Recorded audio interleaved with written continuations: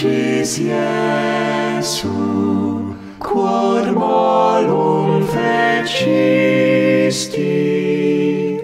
quod celus in te, aut quas offendisti,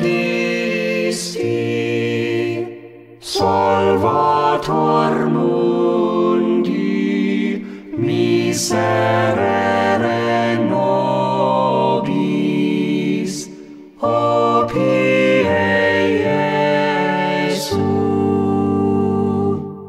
Docebo iniquos vias tuos, et impia te convertentur. Following each verse, the refrain is repeated.